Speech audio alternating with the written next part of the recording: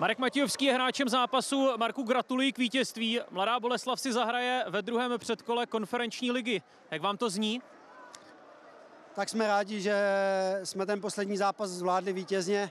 Nikdo nechce odcházet na dovolenou s porážkou a to byl náš cíl, který se povede, takže jsme za to rádi a uh, je to takový ocenění za tu sezónu, za tu práci. Čím dnes Mladá Boleslav přehrála Hradec? Chtěli jsme ukázat, že víc chceme, uh, chtěli jsme být poctivý, pracovitý, nepříjemný. To si myslím, že se, že se podařilo a díky tomu jsme zvítězili. Když půjdeme po těch klíčových momentech, určitě musíme zmínit červenou kartu pro Králové hradeckého klímu. Bylo v tu chvíli hotovo? To si nemyslím, my jsme se upozorňovali, ať jsme pořád stejně důslední.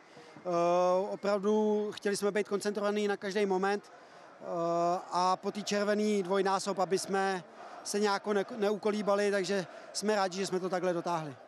Když je odpískaná penalta a Marek Matějovský se přiblíží k pokutovému území, tak předpokládám, že nikdo nesmí ani ceknout. No, není to tak. Já jsem teď poslední dobou na tréninku penalty kopal.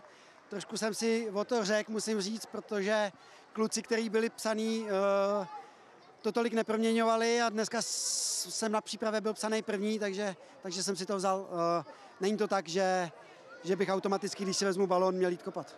Marku, to předkolo Evropského poháru, to je lákavé, vidíte, jaký bude váš program v červenci?